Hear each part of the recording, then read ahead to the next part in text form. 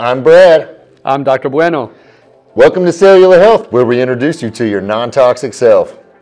Today we're going to be talking about thymosin alpha 1, one of the most powerful peptides in the world to boost your immune system. Dr. Bueno, what exactly is thymosin alpha 1?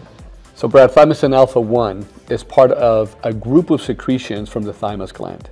As you remember, the thymus gland is a gland in the center of your chest that functions primarily in immune response. And thymosin alpha 1 is one of those thymosins that is secreted by it. Dr. Bueno, how exactly does thymosin alpha 1 work with the immune system? So, Brad, the way in which it complements our immune system is that it enhances T cell and B cell function. It makes them so that they're able to recognize something that is not part of the body, especially T cells.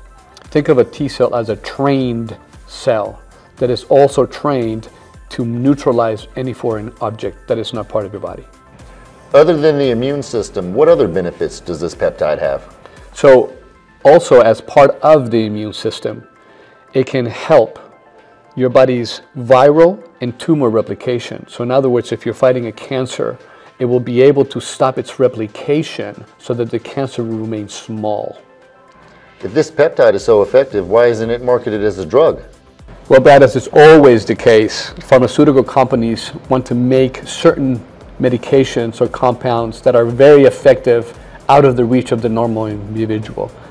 Zadaxin is actually the medication that was approved since 2013 for hepatitis B, hepatitis C, and for other viral infections.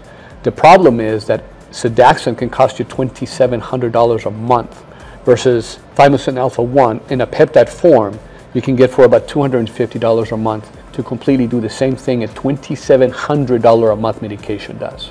So if anybody out there is struggling with any sort of inflammation-based disease, autoimmune disease, or any sort of chronic illnesses or hepatitis or cancers, this would be the peptide for you.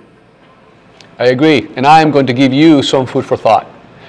If we look at the many cases of COVID-19 and the age-related deaths, majority of the cases were older people. Younger than 14 to about 1 didn't have severe cases. Why? Because their immune system was better than ours. Their T cells and their B cells functioned at a way higher level than ours. So if you want to have your immune system back to par and you want to have it strong, come in. Let us talk to you about thymosin alpha 1. It will change your life.